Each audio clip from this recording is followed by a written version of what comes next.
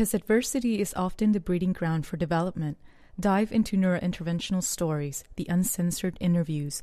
Our guests, all leaders in the field of neurointervention, share the difficulties they face, the complications they have had to manage, and speak without filters on little discussed, sometimes controversial, or simply taboo subjects.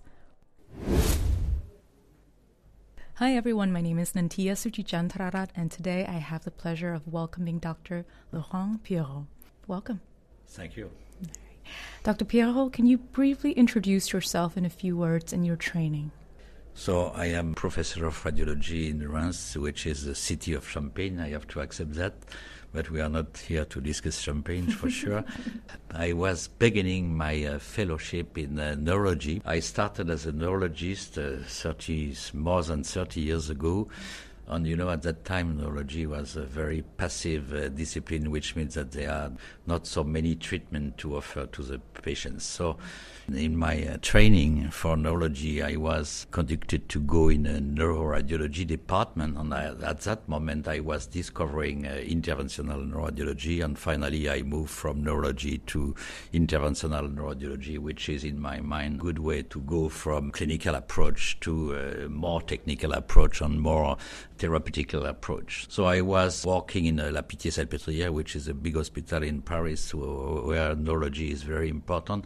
And thereafter, I was trained by uh, Jacques Moret in uh, Fondation Rothschild at the time.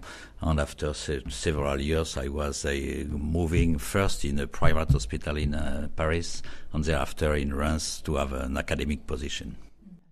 We'll ask the same question for you that we ask everybody in the beginning, which is that what are some of the difficulties professionally that you have encountered in your career?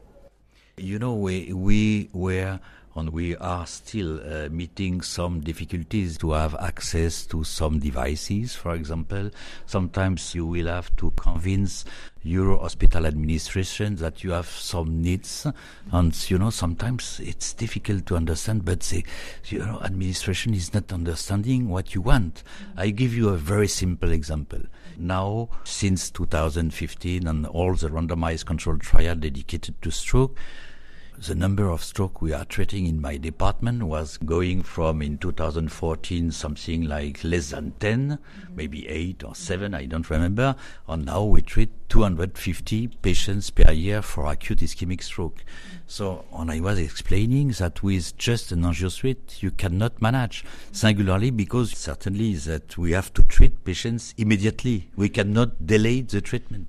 So, you know, to obtain the second angio suite, which is just for the appropriate managing of patients, it was a long battle that I have to conduct. Uh, it, it, took maybe one year, two years to obtain finally the, ah yes, you need it. And, uh, so it's something that is, it was a difficulty I had sometimes to convince at the beginning of uh, mechanical thrombectomy with solitaire, you know, I, I, had exactly the same story. You know, I was saying to the administration, we need solitaire to treat, uh, it was before the randomized control trial, but we were part of THRACE, which is uh, French study uh, dedicated to mechanical thrombectomy. So I was saying, but Uh, we need the solitaire because it's it's what is now the best option to treat acute ischemic stroke. And you know, it took me maybe one year to obtain the solitaire. You know, and sometimes it's difficult to understand because what what you are suggesting to your administration is not for yourself, but it's for the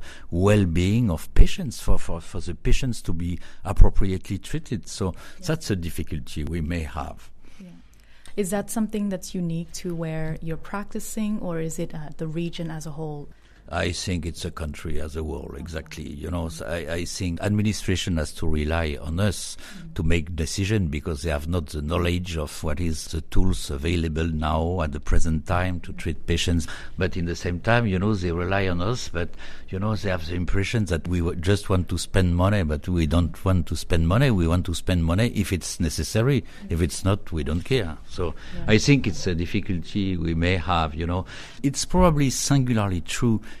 in the field of INR because, you know, innovation is going so fast that sometimes you, you run after the innovation, you know, you, are, you have a new device and a new device is not just something to play, it's something to treat patients. So, but sometimes the, the new device is so innovative, you know, it's a case, for example, for Solitaire, Stent Retriever was completely changing the face of uh, acute ischemic stroke treatment.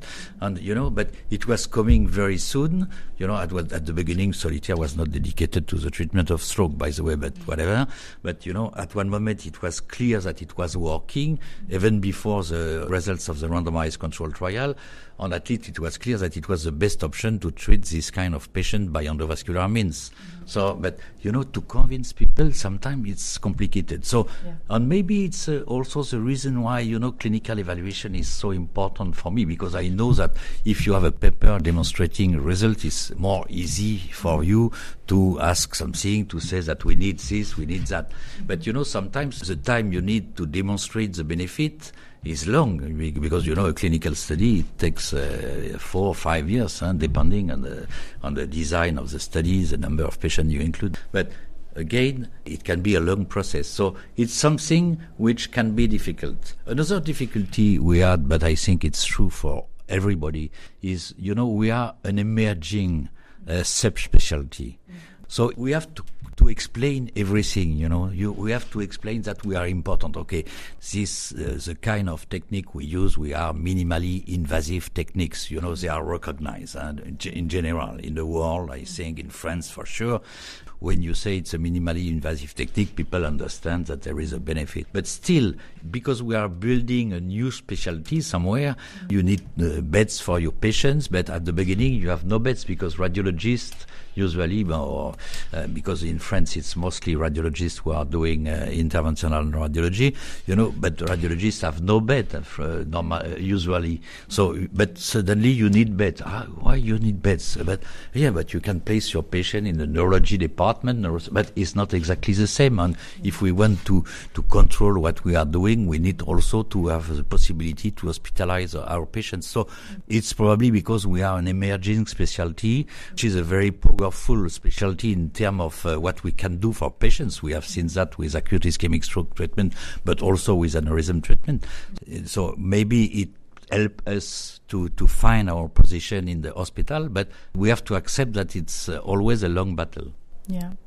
So it sounds to me like the problems are broken up into sort of like a two categories. One category is that the system has not evolved to the point that it adapts as fast as we have to all the new things that are coming out. And so regulatory wise, hospital administration wise, they're still kind of slow. We can't change that. But on the other side, which you're working on and, and have extensive resume to show, was that there needs to be better evidence for demonstration of safety and efficacy of new devices. Can you elaborate on that, on some of the work that you have done? You know, I think the beginning of interventional neuroradiology, if we want to make it simple, is ISAT study. You know, ISAT study was the first study dedicated. Yeah. No, no, but you know, but yeah, uh, to make a long story short, it was the first study, and it was establishing the endovascular treatment as the first line treatment when you can do both options, which are endovascular treatment with coiling or clipping. So I think it was really important. But, you know, after ISAT, when you look at that, okay, we have uh, several years, but when I say several years, maybe 10, 15 years, without too many innovation, I have to accept that, but also without too many clinical evaluation. You know, everybody was publishing his own series of uh, coils. I remember Val d'Isère meeting where we had, uh, you know, a, a, full afternoon of uh, t- 10 people presenting their own series. But what, what it was giving us, nothing. So, because I think, you know, if we want to support the new tools that we have to treat patients, we need to evaluate them. And when I say we need to evaluate them, it means that we have to determine the safety and the efficacy of the device. For example, for aneurysm treatment, the safety is what is the rate of intraoperative rupture, what is the rate of thromboembolic complication. In terms of efficacy, what is the rate of recanalization, the long-term follow-up, etc. But, but for that, we need to build multi-centers, prospective, independently analyzed uh, studies, which are not necessarily randomized controlled trial, depending on the goal of the study. But you need to have this kind of information. It's very important. So that's really what we need uh, in the field of acute ischemic stroke, in the field of aneurysm treatment, in, in the field of brain AVM. So we know that uh, you know sometimes study will dramatically change our practice. You know, for example, you know Aruba study. Uh, we can discuss Aruba study because the design was probably not very well uh, adapted uh, to evaluate the story, uh, the endovascular treatment, the treatment in general of unruptured brain AVMs, but you know, it, it was completely changing our practice because before Aruba, we were treating a lot of brain AVMs, including unruptured ones. And now we treat more or less only ruptured uh, brain AVMs or brain AVMs with anatomical risk factors. So just to show that, yes, when we analyze properly things, it can change dramatically the clinical practice on the clinical issue for the patient. So it's very important. So, and I think at the beginning, you know, in our field, it, because it was a small uh, field, by the way, with a limited number of physicians, etc., etc. So we were trying to develop the technique, but I think at one moment, and it was more or less the beginning of my career, there was a, a lack of proper evaluation. So mm-hmm. it is changing. I think it's changing probably partially due to the important evaluation we need in the field of acute ischemic stroke, but not exclusively. You know, when I discuss now with companies, they all understand that they cannot just come and say, my device is good, my device is safe, my device is efficacious, but where are the proof? We have 10 patients who were treated, it was very well. No, you cannot do that. You know, we need to have a proper evaluation of the of the things uh, in the field of acute ischemic stroke, in the field of aneurysm treatment, and in other fields. You know, so that's very important. I know you also have extensive portfolio in your work for hemorrhagic stroke, the aneurysm side of things. Can you name some of the difficulties that you have encountered, especially now in this era where everything is all about acute ischemic strokes? A lot of money going into it, very fast changing field. What do you see is in the horizon for the hemorrhagic side yeah, of things? That's, that's, a, that's a very good point, what you say, because effectively, you know, the number of patients with acute ischemic stroke is higher compared to the number of patients with aneurysm, not with aneurysm, but with ruptured aneurysm, which is uh, the acute ischemic stroke, but which is a stroke with the subarachnoid bleeding. So I agree that it was a risk, but I think it was finally it was a risk at the beginning to have everybody focused, when I say everybody, physicians, company, uh, health authorities focused on acute ischemic stroke. But you know, in the same time, subarachnoid hemorrhage, aneurysm pathology is a frequent one. In fact, in the analysis, more recent analysis, the percentage of the population with intracranial aneurysm is two to three percent. So it's not nothing. So we have to manage this. It's an important topic, singularly because it's a severe disease when you have a rupture. So it, it's important. And I don't see since 2015 or even before, I don't see that the, the fact that we have to invest a lot of tools in terms of uh, financial support, in terms of uh, personal investment, etc., etc., in the field of acute ischemic stroke, I don't see any decrease in our interest and in our investment for evaluating hemorrhagic stroke, which is still something very important and also because I think there is another reason I have to accept that we have to accept that, which is there is a great interest in the field for aneurysm pathology because it's uh, maybe a little bit more complex pathology, and you know also we have a lot of tools, so it gave us the opportunity to select tools to discuss what is the best tool. So you know it's a little bit different because we start earlier the treatment of hemorrhagic stroke. So we have more tools, but we have more tools that need to be evaluated on not only the tools, but the more appropriate approach for every patient, which is not exactly the same from one to another. It can be that one patient will benefit from coiling. It can be that a patient will benefit from flow diverter. It's exactly the topics that were discussed during the LINNC this year. When to use a flow diverter, when to use a web, when to use uh, coils, etc., etc. So I think hemorrhagic pathologies are still very important. It's an important part of the evaluation we have to conduct, that for sure. What do you see in the horizon for the hemorrhagic field as far as tools? What do you think we will see more of in the future? You know, maybe it's difficult to answer because you know aneurysm you have small aneurysm large yeah. and giant aneurysm so maybe it's a little bit different but but to make a short answer i think at, for 20 years we were more or less working with one tool which was coils mm-hmm. But coils has a big limitation and we published that in the areta study which was conducted in france showing that the rate of recanalization after one year, okay, recanalization was very precisely defined as any change in the intrasaccular circulation. But, you know, the rate of recanalization was still close from 30%. So it means that we need other tools.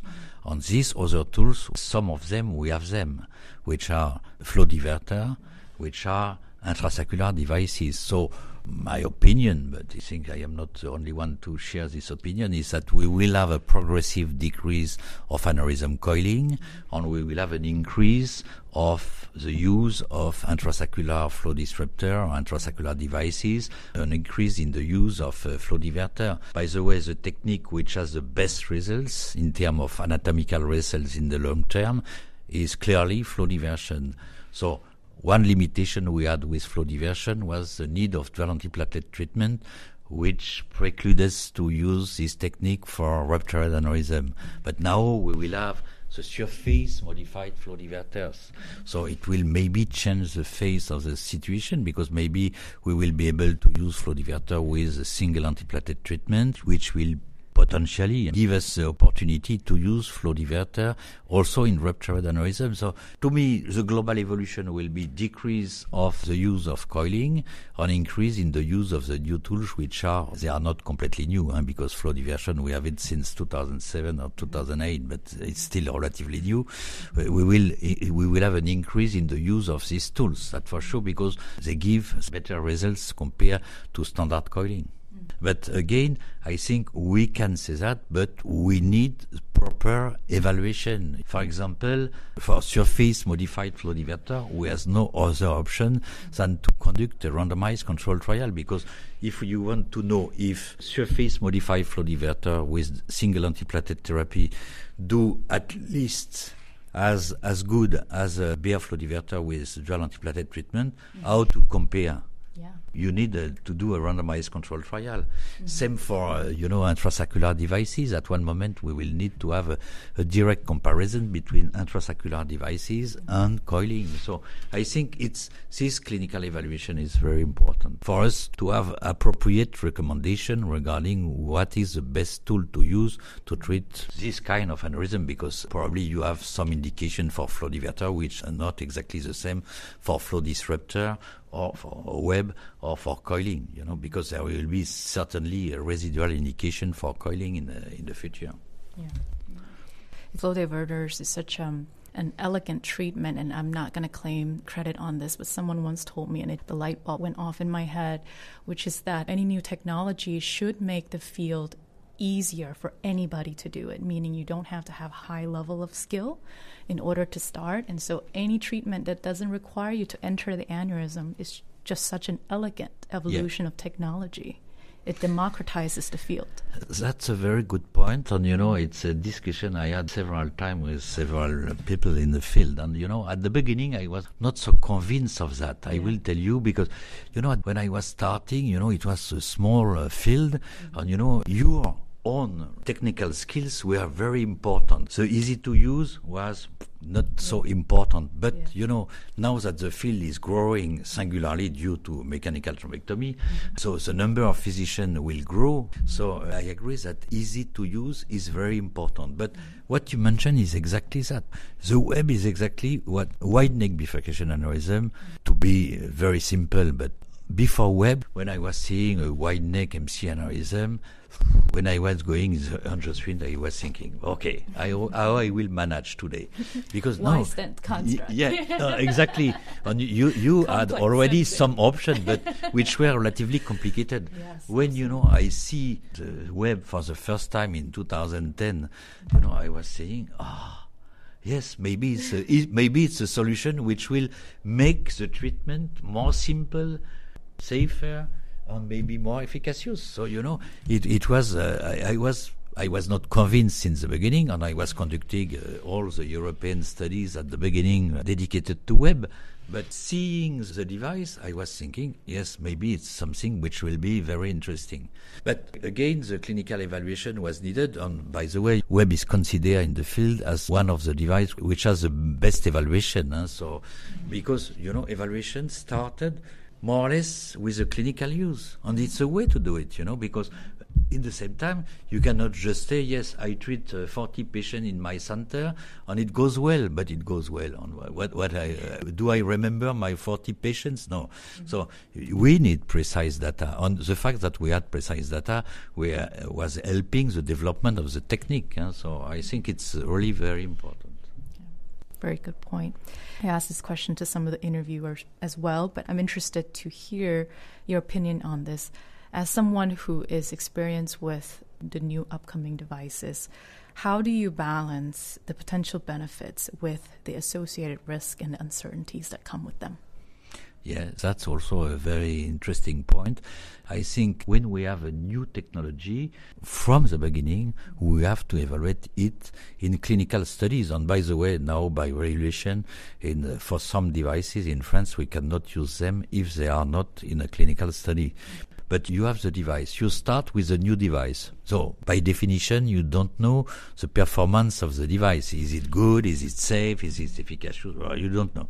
So why not starting from the beginning the clinical evaluation with a proper design of the study? It, maybe it's a registry, a multi-center collection of data. Maybe it's a randomized control trial. You need again to evaluate it because we say that we have a lot of uh, clinical development, flow diversion, intrasaccular devices, blah, blah, blah, blah. But what we can say also that we have a lot of device arriving on the market and finally after two or three years they disappear completely because the performance is not here, safety is not present or efficacy is not sufficient. Mm-hmm. So if we want to accept or refuse a new device, it has to be properly evaluated. I know that I repeat a little bit the same thing, but to me it's so important. You know, clinical evaluation, to me, it's part of my clinical practice. We have a little bit of um, a survival bias in the way we talk about the new technologies and devices that arrive in the field because we only talk about the ones that survive. Just like what you said, if we actually pile them together, the ones that did not survive, yeah, I think it would make a very convincing point on the need to evaluate it more systematically because no. it will be the list would be a mile long. Exactly. Right. You see, we, even in the field of aneurysm treatment, we have seen some devices that were available uh, several years ago. At the beginning, okay, they, they were used in a limited number of centers. Thereafter, there were a clinical evaluation, sometimes with a limited number of patients. The device finally has not the performance that we were waiting for. The device disappear because yeah. it's not working, you know. So uh, yeah. I, we don't talk about it. Exactly. Yeah. we don't exactly. we don't talk about it at these yeah. meetings. So, yeah. Since we're nearing the end, I'm going to go into the four questions that we ask every interviewers.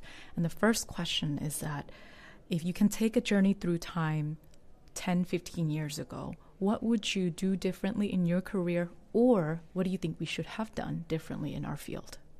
One first thing I will have do better is I will have pushed for more evaluation, mm-hmm. but I have to accept that the problem is that it was not in the spirit of the time at, at that moment. Mm-hmm. So maybe something uh, which was, and the second thing, it's a little bit what we were saying at the beginning, is that, you know, I think from the beginning, we have to consider that we are a full specialty dedicated to the treatment of specific disease.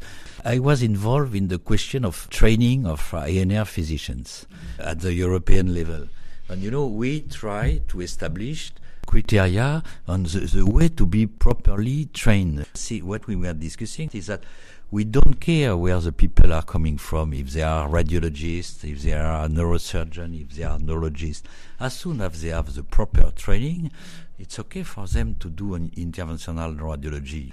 I, I have no problem. On the number of colleagues now in US, they are probably more numerous than uh, radiologists. So, but it's not the problem. I think the proper training. But you know, it was uh, again to push the training to explain that we need the proper training. It was uh, also something very important. We were writing some recommendation at, at the European level, but to make them accepted it was relatively complicated because you know people were thinking, okay, uh, as somebody say in the audience room today, you can be trained for mechanical thrombectomy in two weeks. No, you cannot be trained for mechanical thrombectomy two weeks because before placing the stent of the aspiration catheter in the M1 segment, you have to just puncture the femoral artery or the radial artery as you want. You have just to enter the internal carotid artery, which is not always an easy task, etc., etc. So no, you cannot be trained in two weeks for me, even for mechanical thrombectomy. The second question is that if we fast forward 15 to 20 years, what do you think the field would look like at that time? It will be completely different. Yeah. In 10 and 20 years, I will n- no longer be part of the activity, probably. But, you know, we know that because we already see that partially. We will have robot. Mm-hmm. Vitor was presenting last year in at LINNC, you know, the use of a robot to treat NECOM aneurysm. Mm-hmm. Honestly, before he was showing me that, I was a little bit reluctant and I was saying, okay, but he, the robot will never do as good as my fingers. Mm-hmm. But you know, I was impressed. Yeah. Second thing, which will certainly change also the practice, which is IA, that for sure. I, I think somebody in the field would try to conduct a study to analyze the factors that in front of a unruptured aneurysm can predict the future rupture of aneurysm. So IA will maybe help us, you know, to select the patient who has to be treated for unruptured aneurysm because as of now we have a limited number of analyzing factors, size of the aneurysm, uh, regular or not, blah blah blah blah. But it's very limited the number age of the patient indeed you know, I think it will completely change. And also maybe the tools we use to control our procedure. As of now, we use X-ray. 10 years ago, maybe more, maybe 15 years ago, somebody was saying, oh, in 10 years we will just do interventional radiology under MRI control. But it's much more complicated than it seems to be. Yeah. But, you know, maybe it will change also, you know. What is interesting again is that when you look at the evolution of interventional radiology, you have a parallel evolution of the device we have to treat patients and the technology we have to control the treatment we do. You know, for example, okay, more or less we do all the treatment in the angio suite as of now. Uh, it, but you know, at the beginning we had 2D angio, and at one moment we were realizing that to place properly coils, we have to understand where is the neck. So it leads to 3D angio development. Mm-hmm. Thereafter, we have to evaluate properly the position of the device mm-hmm. according to the aneurysm wall, the arterial wall. So mm-hmm. development of VasoCT or DynaCT. So you see, it goes a little bit in parallel. You have a new technology for aneurysm treatment. You have a new technology to control. The, I, I think what we miss we miss some information regarding physiology, which means, for example, aneurysm flow analysis. You know, it's a topic which is discussed since I started in interventional radiology. We discuss this topic, so it means that it's not an easy one, but but it's maybe important to understand the flow to properly treat an aneurysm. So all these tools will help us. That for sure. I am sure that the practice will be completely different in ten years and in twenty years. So, if we now turn our attention to the training of future interventionists coming out, what are we not doing enough for them, in your opinion? I think where something is missing sometimes, singularly for those who are coming from radiology, is there is something we have not to forget. We are dealing with patients. Mm-hmm. So, which means that we need to be able to precisely evaluate the clinical situation and to manage the clinical situation. And I, I, have to say, I think it's an important part of the training you know, you need to know what is the result. But the result is not only, yes, I was able to place the coils, the stands, the web, whatever you place. The goal is to know how is the patient. So it's very important. I think another part which is very important is anatomical training because, you know, anatomy is very important.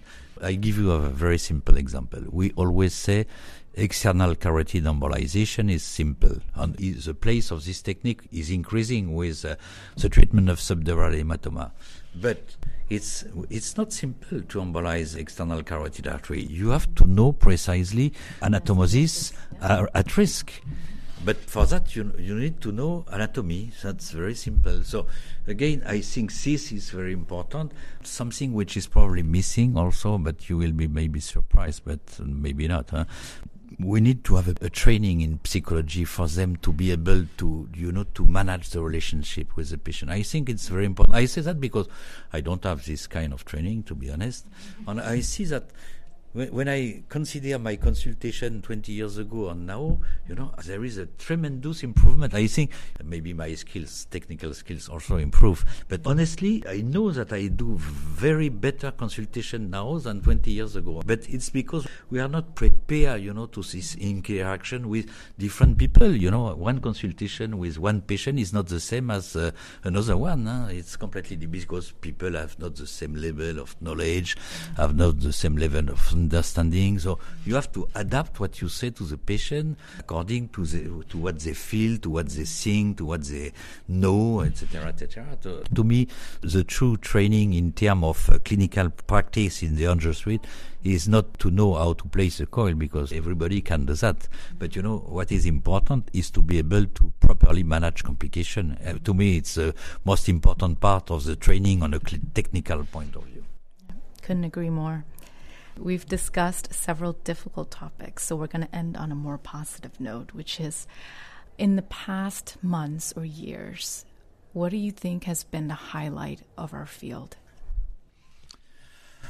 I think technological advancements was the most important thing. When I say that, it's considering devices and also the system we use, but I think you know we, we are in a period where we really have uh, innovation, mm-hmm. and I think it's changing the face of our practice. Uh, now with the web, uh, you know, we treat maybe some aneurysm which were not treatable by endovascular means. Mm-hmm. Same thing with flow diverter. So I think we are really in a period of time where we have important technical developments, mm-hmm. which effectively change our practice. Well, Dr. Pierot, thank you so much for spending time with us today. Thank you very much.